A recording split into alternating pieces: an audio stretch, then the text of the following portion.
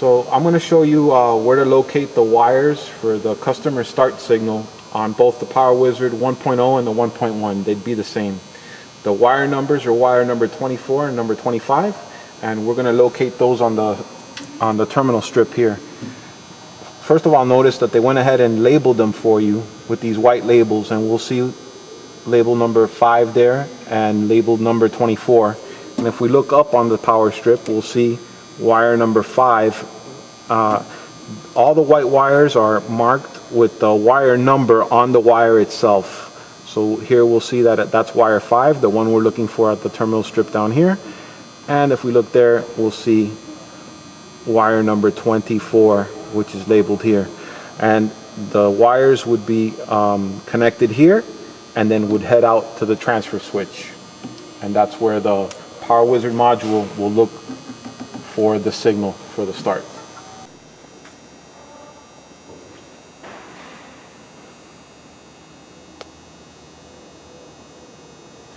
Okay, on the larger units, the terminal strip we showed before is actually in a separate um, compartment. So we'll remove the uh, access plate here and we'll show you where that terminal strip is right here.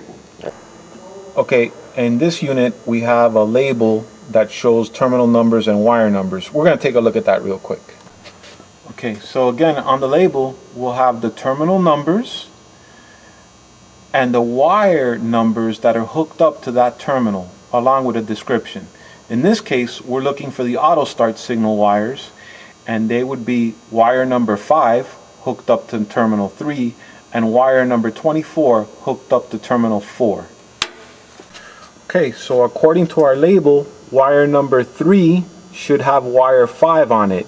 If we follow it up we notice that there's not a wire there but that's because wire number 5 is bridged in the terminal strip with the terminal wire uh, terminal 3 so wire 5 is in fact hooked up there then terminal 4 here will have wire number 24 and the connections for the auto start would be made on 3 and 4 respectively